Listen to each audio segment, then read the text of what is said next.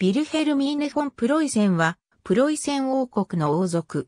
プロイセン王子、アウグスト・ビルヘルムの長女で、プロイセン王、フリードリヒ・ビルヘルム2世の妹であり、オラニエ公ウィレム5世の日となった。全名はドイツ語で、フリーデリケ、ゾフィー・ビルヘルミーネ、オランダ語で、フレデリカ・ソフィア・ウィルヘルミナ。ビルヘルミーネは1751年8月7日、アウグスト・ビルヘルムとその日であった、ブラウンシュバイク・ボルフェン・ビュッテル公フェルディナント・アルブレヒト2世の娘ルイーゼ・アマーリエの間に、第三子としてベルリンで生まれた。1767年10月4日、ビルヘルミーネは最後のオランダ総督でまたいとこにあたるオラニエ公、ウィレム5世とベルリンにて結婚した。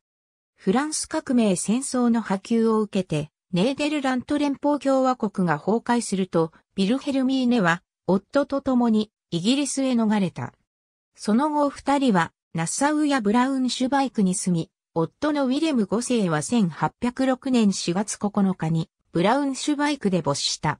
ビルヘルミーネ・フォン・プロイセン1813年に、ネーデルラント連合王国が成立し、息子ウィレム1世が王位についた。これを受けてビルヘルミーネは翌1814年にオランダに戻った。なお、ウィレム一世の王妃、ミルヘルミナは、フリードリヒ・ビルヘルム二世の娘で、彼女の命にあたる。